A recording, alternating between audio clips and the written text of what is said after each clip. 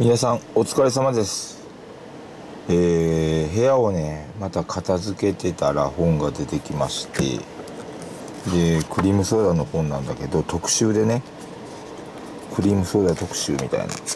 でこれね歴史がねずっとねストーリーがね年代でずっと出てるんですよね。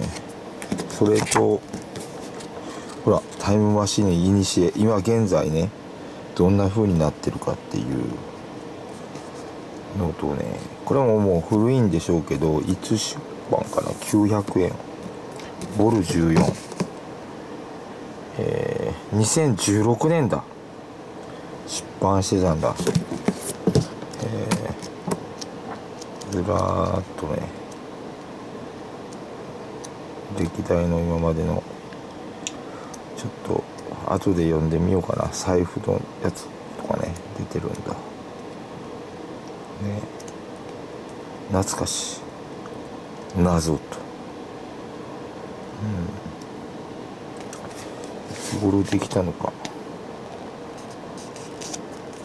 うん。懐かしいな。これちょっと歴代がね2010何年。いや違うな。2017年ってことはこれは2018年。ん？16年。って書いてあるな。出版なんだろうな。